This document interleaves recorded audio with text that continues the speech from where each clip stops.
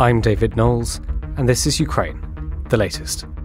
Today, we bring you updates from the front lines, analyse the continuing strikes on Ukrainian ports in the region southwest of Odessa, and we hear from our senior foreign correspondent Roland Oliphant, who's on the ground in Ukraine.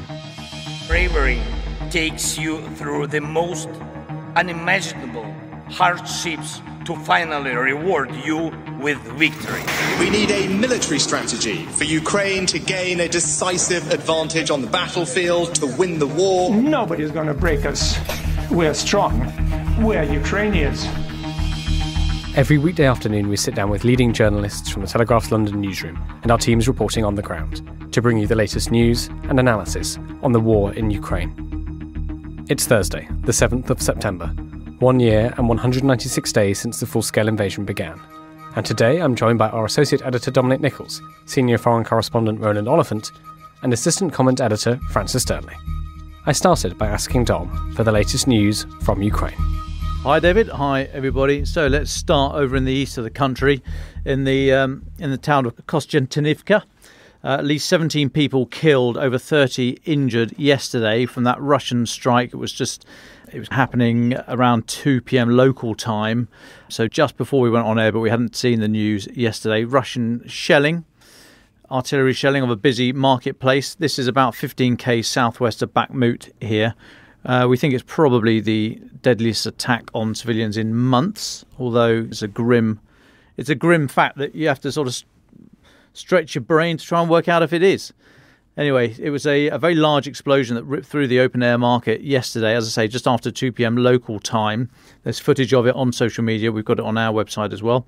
President Zelensky said later on Telegram a regular market, shops, a pharmacy, people who did nothing wrong, many wounded.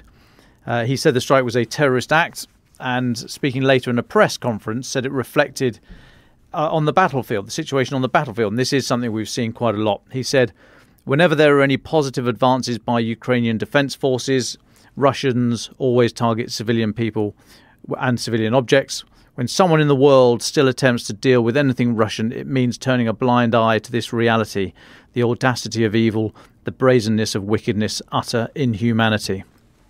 So, as I said, just a reminder recent Russian attacks on civilian areas have included, but are not limited to, June's strike on the pizza restaurant, you'll remember, in neighbouring Kramatorsk, that killed 13, injured, uh, yeah, wounded 61. And then last month, a double tap missile strike on the hotel restaurant complex that was frequented by journalists, aid workers, the uh, UN in Pokrovsk. That's 30 k's further southwest. Nine people killed in that attack, at least 88 wounded. Now, further afield, drone attacks in Russia. Ukrainian drones been blamed for targeting three Russian cities in uh, attacks early this morning, overnight, early this morning. Three buildings damaged and one person injured in the city of Rostov on Don. You remember that's where, well, it's, it's the one of the drones exploded close to Russia's military southern headquarters. Um, that was where you remember Prigozhin when he did the whole Wagner thing all mutiny, no bounty. He went there, and uh, that was where he was filmed before they started charging north. That came from that that news. That's confirmed by the TASS news agency, Russian news agency. Then in Bryansk, so further to the northwest, but still inside Russia, two two drones, just two drones destroyed by air defence. We think but debris um, damaged uh, damaged buildings and a railway station and cars and what have you. That's from Interfax news agency. And then separately, Russia's defense ministry said they shot down a drone over the outskirts of Moscow. Then, sticking with drones, but moving into Ukraine, several drones hit a number of buildings in Enerhodar. That's the, the town in the kind of center of the, the country on the river. That's home to the Zaporizhia nuclear power plant. Now, it's currently in the Russian controlled part of Ukraine's southern Zaporizhia region. And this news comes from the Russian appointed governor there. So we're not entirely sure exactly what's happening.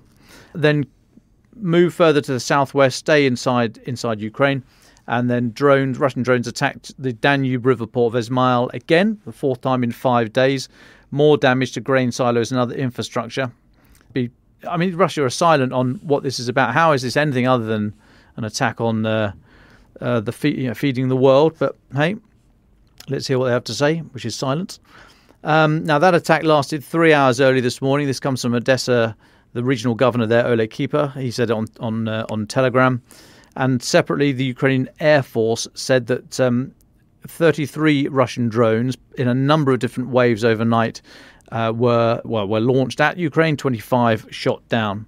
Now you'll remember, and I think we're going to talk a little bit about this later. But Ismail, it lies on the river, the Danube River, and the other side of the river is Romania, a NATO member. It's one of the main, if not the main, export route for um, for Ukrainian products, in particular grain, since uh, since Russia backed out of the grain deal. Sticking with grain, we've got uh, so Romanian President Klaus Iohannis has said that the Russian attacks on the Danube River ports is, is, going to slow down the export of grains and other routes need to be enhanced. You know, uh, he was speaking last night at a summit of the Three Seas Initiative in Bucharest, and he said, of course, the attacks on Ukrainian ports on the Danube are a huge problem. Of course, it it will in a way slow down exports. We will enhance the other routes. We accept Ukraine, uh, Ukrainian maritime transport through our Romanian territorial waters of the Black Sea. We will continue to enhance exports on the rail and on the road. Now, Romania's Black Sea port of Constanta is Ukraine's largest alternative export route. Um, grains are going out uh, or to there by road, rail, and, and, barge from the Danube in a bid to keep the uh, keep the export going. And then just something we mentioned uh, either yesterday or the day before, talking about Russia redeploying forces. We don't think they've got anything of any great strength in terms of a reserve. They might be able to launch local counterattacks, or very small counterattacks, but we don't think they've got an operational reserve. And basically, if you think about Ukraine at the moment, in operational terms, we'd say there's um, something in the northeast, something in the southeast, and something in the south. Those are the kind of three operational areas. So to, to have an operational reserve is is to have forces of that size that can stop a either a major breakthrough in one of those areas or affect a huge advance yourself. So we don't think Russia has got anything in the way of operational reserves, and we think they are thinning out forces from the central bits around Bakhmut to to fill in down south where this where Ukraine are having the most success. So Colonel Mikhailo Ulyashevich, who is a Ukrainian military spokesman, he said this, which we think was happening anyway, but he said um, by regrouping forces from other areas and using reserves, Russia is reinforcing units engaged in defensive actions in the Berdyansk and Melitopol sectors. Um, he also reiterated their thoughts that that they are between the first and the second line of main fortifications down south. That view was echoed by NATO. So NATO Secretary General Jens Stoltenberg, he said that Ukraine is making progress, and he said the Ukrainians are gradually gaining ground. They have been able to breach the defensive lines of the Russian forces, and they are moving forward. He was speaking this morning in the uh, in the European Parliament, and I'll, uh, I'll pause there, David. Well, thanks very much for that overview, Dom. Dom, you spoke about these strikes on Ukrainian ports in the west. Roland Oliphant, you've been spending more time there and have written up and filmed a dispatch for the Telegraph. What more can you tell us about the atmosphere on the ground? What what did you see and hear? Hello, David. Yeah, so we um we went down to Ismail the other day and we spent an afternoon speaking to local people. So, the situation is to give you a kind of geographical sense. There's this little bit of Ukraine that kind of sticks out to the southwest of Odessa. It's quite remote from the rest of the country. It's an area called Bessarabia. It's a lot of fascinating history that I'll, I'll try to whisk over.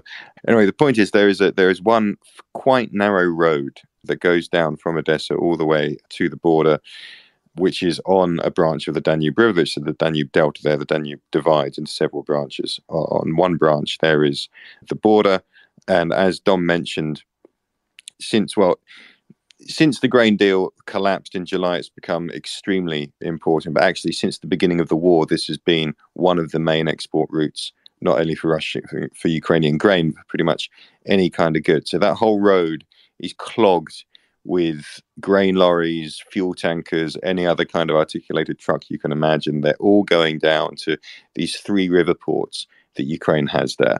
There, the cargo is loaded onto barges. The barges go upriver and then around and down and across a canal. And by that point, they're inside Romania. They come to the port of Constanza. Then it's reloaded onto seagoing ships. And that's the main route now for grain to get out.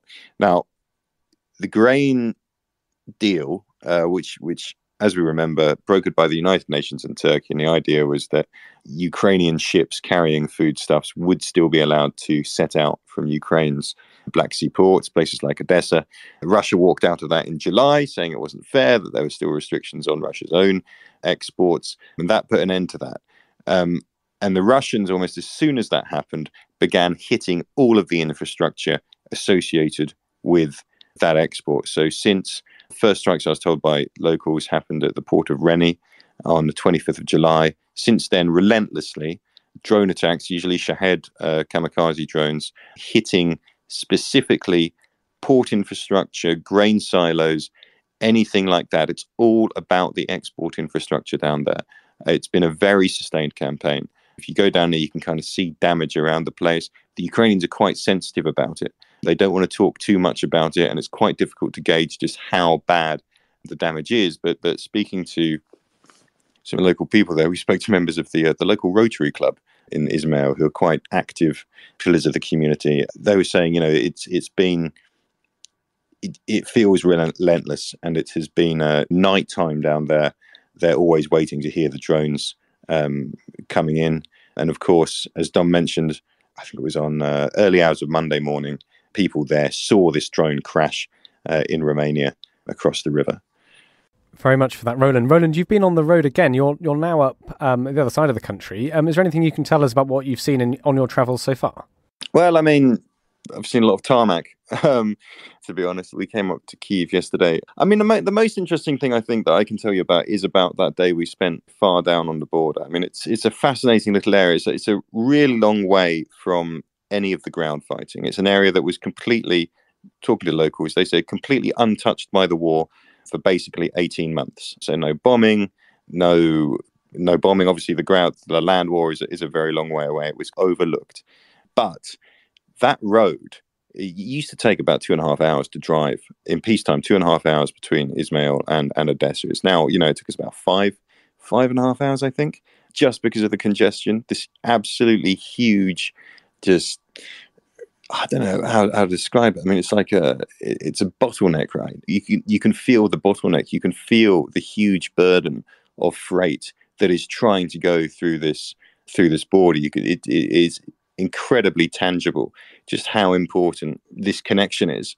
how it's clearly overburdened, and therefore how how vulnerable it is to these Russian attacks. Really, elsewhere, I mean, I, I think I spoke to you about Odessa, where people are still swimming in the beaches. There's a beach where they've got a boom out, so you can swim without any mines coming in. Still a fairly relaxed place down there, and Kiev is functioning functioning in the same way that I think it has it has got used to functioning since the battle here ended in spring last year.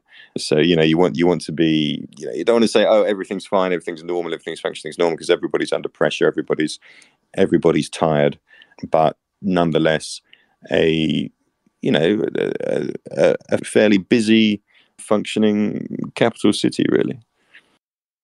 Thanks very much, Roland. We'll come back to you later, maybe. I mean, you mentioned some of the fascinating history of Bessarabia, so it'd be good to have some time to go over that. Uh, but for now, let's go to Francis Dearnley for the latest strategic and political updates.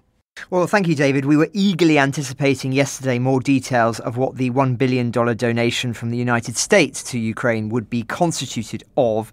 And this morning we do have more details. It does make for interesting reading. So, the US Secretary of State Antony Blinken, who's still in Kiev for his visit, has announced that the assistance includes $175 million for air defense system components. I imagine that's preparing for winter.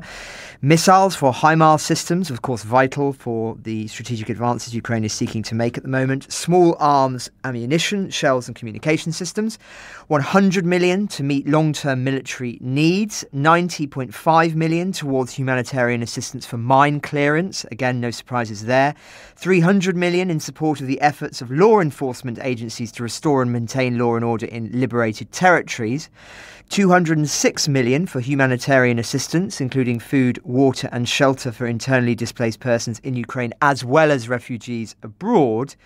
And finally, 203 million to be used in support of transparency and accountability of institutions, strengthening key reforms related to the fight against corruption and the investigation of war crimes committed by Russia.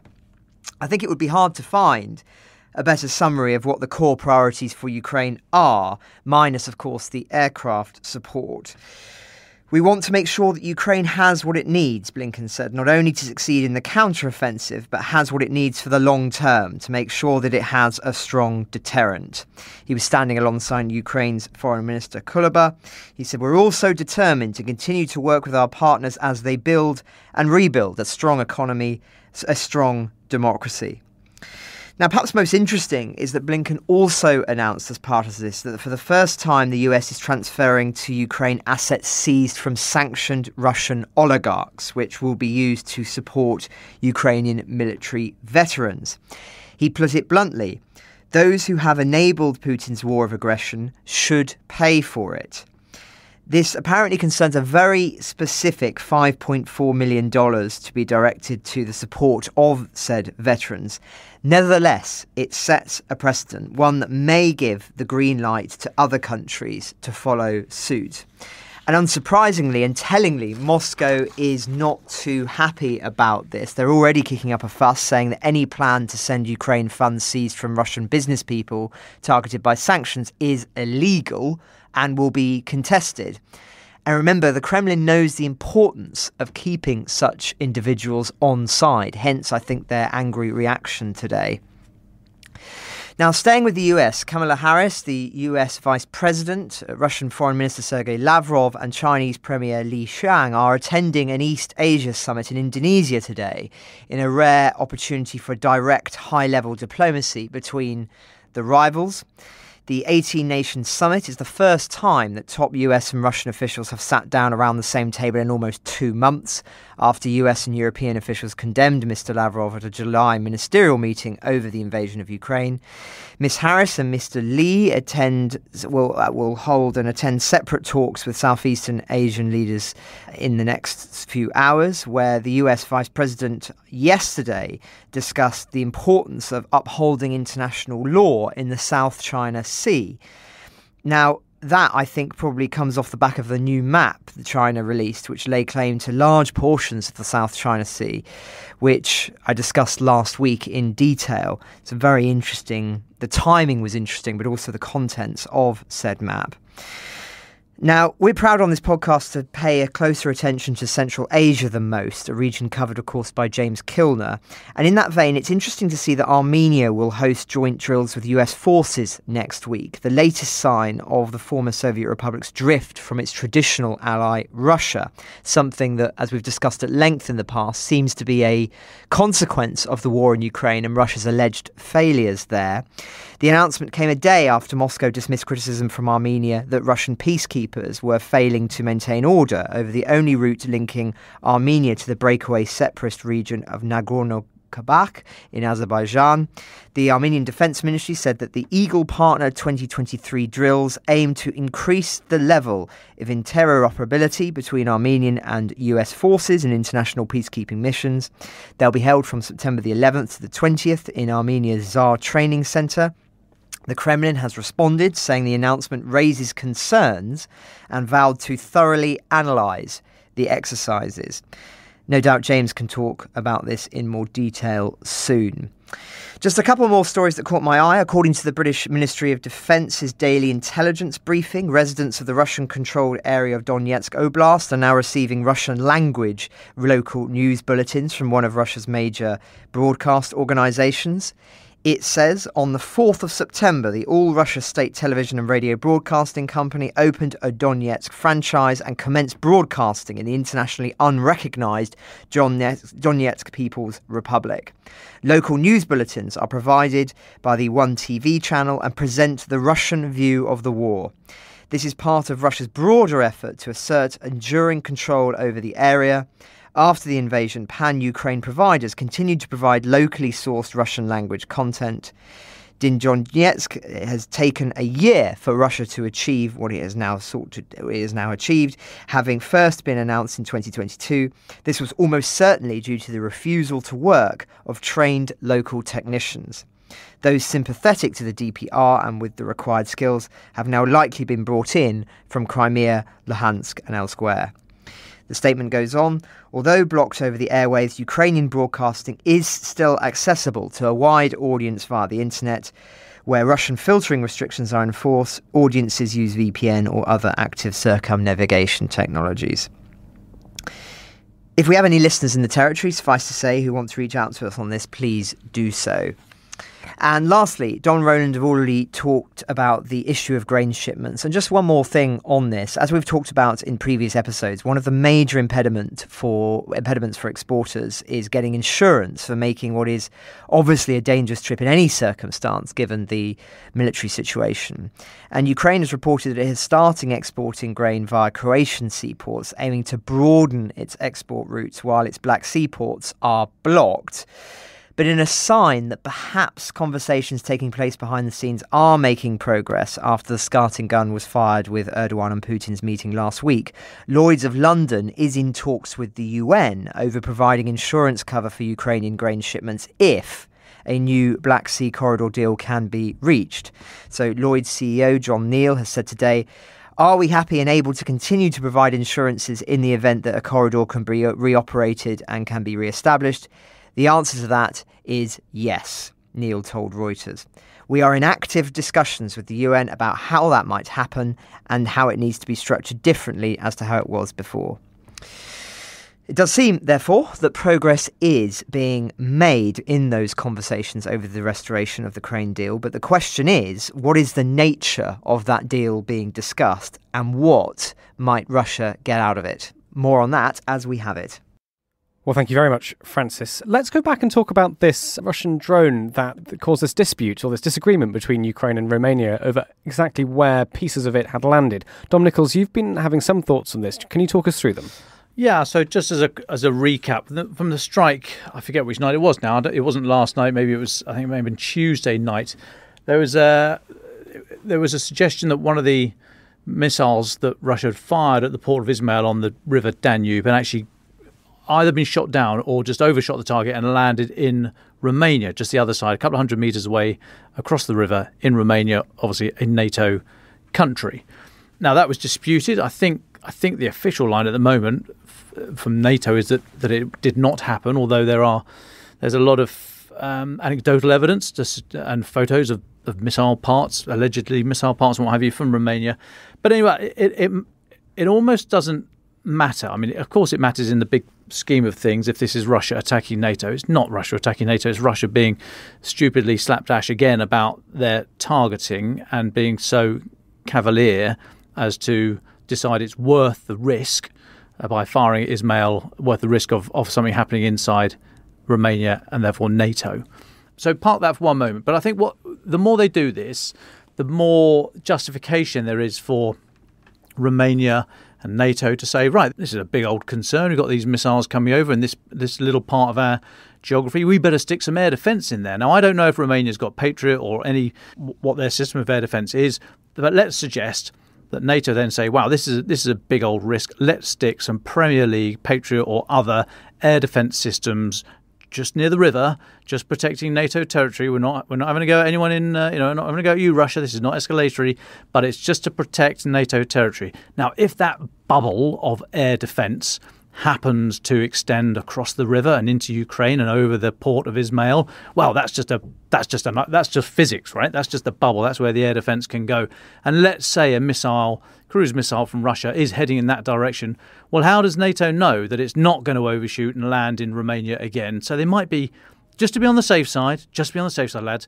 Let's shoot it down. Now, if afterwards Russia comes out with all sorts of ballistic trajectories and say, no, no, it was going to land in the port. It was going to hit Ukraine. It was going to land in the port. You had no right to blow up our missile.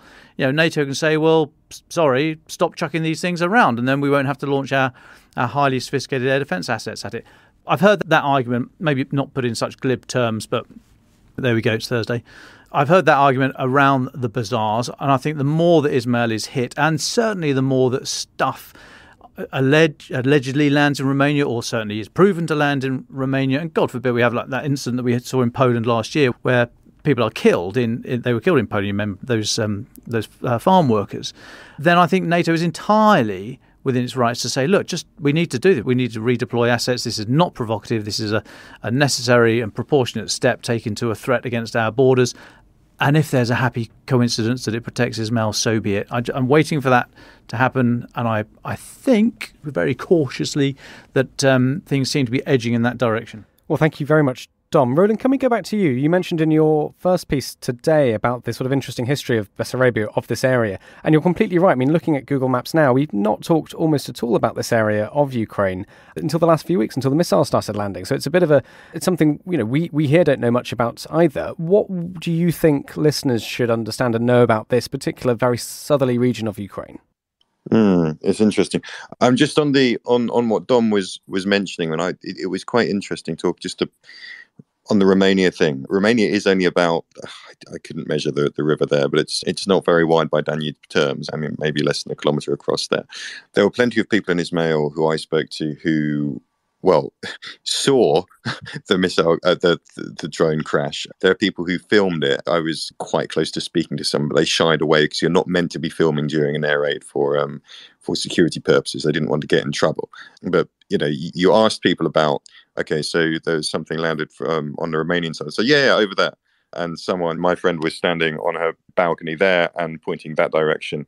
So it happened. And they were quite bemused by the Romanian reaction, which was initially to say, to basically categorically deny that this had happened. And then to say, well, not to deny that it happened, but to just emphasize that Ukraine's, uh, sorry, sorry, Romania's uh, security and territorial integrity was not threatened by whatever had happened. And then finally, last night, the defense minister finally says, Oh, we found some fragments, exactly where everybody on the Ukrainian side of the river had been saying it had fallen. Oh, we found some fragments. And then finally, President Iohannis says, Well, you know, I've ordered an urgent investigation into this. So it, it was for the people I spoke to in Ismail on the Ukrainian side of the river a couple of days ago, the the which was before Romania had admitted it had happened, that reaction was quite bemusing. They didn't quite get it. In fact, some of them claimed to me that two drones landed. They didn't have any evidence of that.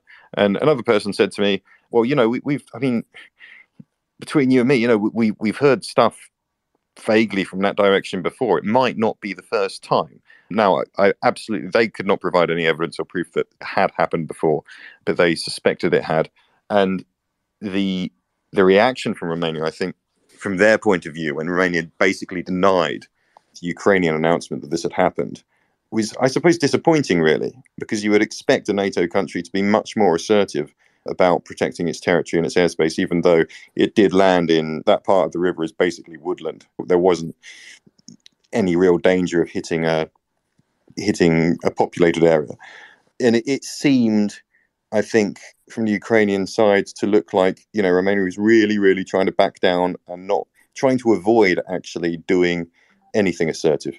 If you see what I mean. So I'd be I'd be quite interested in where that debate that that idea that Dom has just suggested would go because at the moment the impression I was getting or people down there were getting was that well for some reason our neighbors really don't want to acknowledge that happened and their guess about what happened by the way was that the the drone had been hit by probably hit by Ukrainian anti aircraft fire and came off course and crashed down there. And it was on, just to clarify, early hours of Monday morning that it happened. Um, so that, those are my thoughts on the Romanian thing. On Bessarabia, yeah, I mean, it's fascinating. So, Bessarabia, the historical Bessarabia is basically the land between the Dniester River and a tributary of the of the Danube called the Prut, I think. Anyway, basically, it's modern day Moldova, but the lower bit of it that faces the sea, about a quarter of it, that is Ukrainian territory, and the history is is fascinating. Ismail, I think, was originally a Genoese fort in kind of the 12th, 11th century, something like that. It eventually became a an Ottoman Turkish outpost, a very important fortress on, on their frontier when they ruled what is now Romania and Moldova. And then as the Russian Empire was expanding in the 18th century, you know, with their succession of wars against the Turks, especially in the late 18th century, when they expanded into what is now southern Ukraine, they captured it. There was a particularly famous battle in 1790 when the, the Russian general Alexander Suvorov stormed Ismail fortress. Lord Byron wrote about it. It was a, a great event. It wasn't that kind of ended the war, that particular war, But later, the Russians came back and annexed it. And the kind of interesting thing is, for today, number one is that according to the people I spoke to who live there, they said, look, like we've probably got about 40 nationalities living in the region, and Ukrainians are actually only a very one of about 40 and not the biggest. There's Albanians, Romanians, Moldovans. There's a very old Bulgarian population who still speak um, their own version of Bulgarian in the villages. It's apparently, so I'm told, it sounds slightly archaic to modern Bulgarian speakers from modern Bulgaria. So that's fascinating. Russian is still the lingua franca because you know it was for a long time part of the Russian Empire, and and that was the the lingua franca that united all of these peoples. And and really interestingly is that even now, the personality of Alexander Suvorov kind of dominates Ismail. Even you know the main street is Suvorov Street. The oldest building in town is this this mosque, 14th or 15th century, which was is kind of the only remaining part of the fortress that he stormed. It's not functioning as a mosque. The Soviets put a diorama of the battle inside it, so it looks like a, a beautiful bit of architecture from Istanbul. You know, pay your 40 hryvnia, you go inside, and there's a huge diorama of Russian soldiers and Cossacks storming this fortress, and it emphasizes Suvorov's role. And it's it's it's fascinating how this guy's a, a you know a Russian imperial hero right now. He is not flavor of the month for obvious reasons. So they've taken down his statue, and the city authorities are thinking about what to do about it. And, and one woman who we were talking to there, we visited this exhibition, and when we came out after listening to the recorded audio guide. He said, "Oh, did I mention Suvorov?" I said, "Yeah." She goes, "Yeah." Well, he's just like all the rest of them, uh, isn't he? So ba- basically, her point of view was like this guy who, for for a long time, has dominated the history of our town. We now look at him the same way we'd look at Vladimir Putin, Sergei Shoigu, Gerasimov, Surovikin. I mean, basically as uh, a Russian war criminal who came here and slaughtered people in order to to extend an empire. So it was a it was a fascinating kind of encounter with multiple multiple layers of history there. And at the same time it's also i must say an incredibly it's a very pleasant place. I mean the air battle that's been going on there and they've had i think they had another raid last night. That was the last night's raid was the fourth in five nights. In the day it still feels like a kind of relaxed, sleepy, very clean place, wide streets going down the Danube. There's still kind of teenagers swimming in the river, ignoring the please do not swim here signs. And I spoke to, you know, I was kind of quite attracted by the idea of dip myself. And um, the guy showing us around said, I wouldn't. I said, well, is it, is it mined? No, but we are at the bottom of the Danube and all of Europe's effluent is in there. Um, he said, so you're probably going to get sick. But yeah, fascinating, fascinating part of the world. Really interesting landscape as well. It's it's it's delta. It's it's low lying. It's reeds. It's marshes. The kurgans, the old burial mounds, they really stand out in that landscape. And you know, a lot of kind of nature reserves and spots that that that tourists kind of like. And it was actually, you know, a lot of refugees, I was told, initially headed down there and stayed because it felt so safe and peaceful. Well, thank you very much, Roland. I didn't know what we needed today was a potted history of the culture and uh, uh, and everything of Bessarabia, but I'm very glad we got it. Thank you so much, Roland, for that. Um, Francis, is there anything you want to add before we move to our final thoughts? Thanks, David. I really enjoyed that as well. It was really fascinating. Um, I just wanted to comment on one thing that Roland said, which was talking about the Ukrainians' understandable frustration at what they see as a, a lack of frustration coming from Romania. And I, I think that's absolutely correct, although it is worth saying that they are at least commenting on these strikes, whether they be from drones or from missiles, at the Three Seas Initiative Summit meeting in Bucharest, which uh, Dom mentioned, which is, by the way, a gathering of 12 EU states, mainly former Soviet in Eastern Central Europe, which is itself, I think, quite interesting and telling in the current context. At that, the Romanian defense minister said that if it is confirmed that elements come from a Russian drone, such a situation would be completely inadmissible and a serious violation of the sovereignty and territorial integrity of Romania, a NATO allied state. So they are talking about it, but it's one thing talking and very different to then act in a more robust way in some of the ways that we've discussed today. A NATO spokesman, Dylan White, has also said in a statement that NATO allies express strong solidarity with Romania and will continue to monitor the situation closely and remain in close contact with our ally, Romania.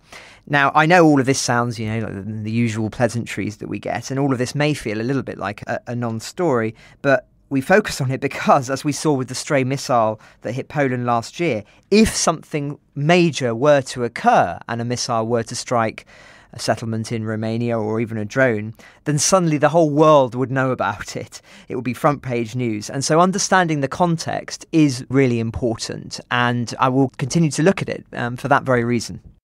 Well, thank you very much, Francis. Let's move to our final thoughts then. Uh, Dom Nicholls, why don't you go first? Right. Well, so firstly, thanks to everyone for your messages after yesterday's pod. It's lovely to know you're you're there and uh, and helping us out when we need it. So thank you for that. Uh, I'm off tomorrow, off ski, off ski, off uh, the pod, and off on a jet plane. I'm leaving on a jet, literally leaving on a jet plane. Going to the states tomorrow, the start of our um, tour next week. So yeah, over the weekend, I'm, I'm, not going to speak to you again until Monday, David and, and folks. Uh, but over the weekend, I'm going to be chatting to some old friends at the Boulder Crest Foundation. That's a, a charity helping military veterans and other fir- and first responders, plus all their families. Um, they help them through and after and thrive after trauma.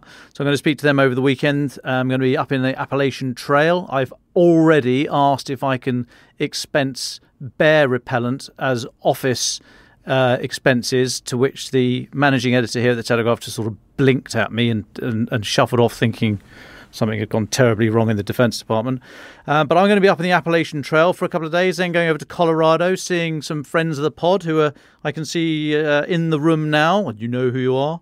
Uh, and then off to the US Air Force Academy. That will be so we're coming live from. I'll be coming live from the US Air Force Academy Monday morning. I've been very. They've very generously invited me to their 9/11 commemoration as a former serviceman. I, I thought that was a very generous gesture. So I'll be there. I'll, but I'll speak to you 0600 from Colorado on Monday. And then, yeah, they're not off we go again, and you guys join us. So, cheerio, folks. I'll see you on the other side of the pond. Well, safe travels, Dom, and best of luck getting everything you want expensed. Expensed. Francis Dearnley. Thanks, David. It's also my last time on the pod before the US. I'm not travelling tomorrow, though. I'm travelling over the weekend. Very much looking forward to that. And I've also got a very busy itinerary, which we'll talk you through early in the week, next week. But uh, it's me standing in for Dom on our video series Defence in Depth this week. And I've decided to do a deep dive into Putin's top three lies from the Second World War to modern Ukraine. It was a very long list to choose from, suffice to say. I won't spoil what the three are, but the video seeks to condense with all the fancy graphics they throw in there and things like that some of the false narratives that the Kremlin peddles, which we've discussed on the podcast these past few months. For years, Russia has distorted its history, contorted it so profoundly that we, just like millions of ordinary Russians, can no longer measure modern Russia according to the most important metric, reality. And I just wanted to look at that more deeply and discuss the implications of it. It will be out by seven o'clock London time, which I think is about two o'clock Eastern, on the Telegraph's YouTube channel. And we'll be sure to add a link to the description of this episode. So do check that out and look forward to hearing people's comments in due course. Well, thank you, Dom and Francis Roland. Do you want us bring us to bring us back down to earth and crucially back to Ukraine? Uh, what are your final words? I suppose actually I think Francis made a good point about this drone incident in Romania, which is when you remember the missile incident in Poland last year or whenever that was, there was a lot of a lot of excitement and assumptions that uh, Russia had, had, had deliberately fired a missile at Poland. Of course, it turned out to be a Ukrainian air defense missile or its remnants that had fallen on the other side of the border. So I think there is quite right to be relatively cautious about you know reports of this kind of thing happening, and I was certainly relatively cautious, remembering that when um when I headed down to the river the other day. I mean, I spoke to enough people. Um, I, yeah, I'm pretty confident that it is, as the Ukrainians said, and that the drone did land, you know, in Romania or NATO territory. But quite right to be fairly, not to jump to conclusions, which is true of everything in this war. To be honest, I mean, I will be you know, we'll be in country for another week or so, and we'll be moving around and trying to see things, which is really the job to to observe and report what we see. But as I often, I suppose maybe an excuse, but as I often say and remind people, like quite often what I see is going to be less informative than almost anything. It's very difficult to actually understand big picture stuff, what is going on when you're underground, and it often pays to, to be quite conservative with a small c in terms of your your assumptions or your conclusions about what you're seeing. If that's not too non-committal a final thought, uh, that's what I will be attempting to do as I um, I drive around the country and try and try and report on the war over the next week or so.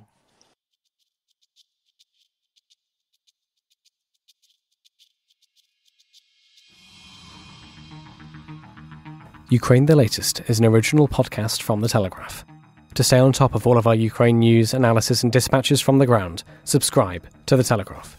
You can get your first three months for just £1 at www.telegraph.co.uk forward slash Ukraine the Latest. Or sign up to Dispatches, our Ukraine newsletter, which brings stories from our award winning foreign correspondents straight to your inbox. We also have a Ukraine live blog on our website, where you can follow updates as they come in throughout the day including insights from regular contributors to this podcast. You can listen to this conversation live at 1pm London time each weekday on Twitter Spaces. Follow The Telegraph on Twitter so you don't miss it. To our listeners on YouTube, please note that due to issues beyond our control, there is sometimes a delay between broadcast and upload. So if you want to hear Ukraine the latest as soon as it is released, do refer to the podcast apps. If you appreciated this podcast, please consider following Ukraine the latest on your preferred podcast app. And if you have a moment, leave a review, as it helps others find the show. You can also get in touch directly to ask questions or give comments by emailing ukrainepod at telegraph.co.uk. We do read every message, and you can contact us directly on Twitter. You can find our Twitter handles in the description for this episode. As ever, we are especially interested to hear where you are listening from around the world. Ukraine the Latest was produced by Giles Gear, and the executive producers are David Knowles and Louisa Wells.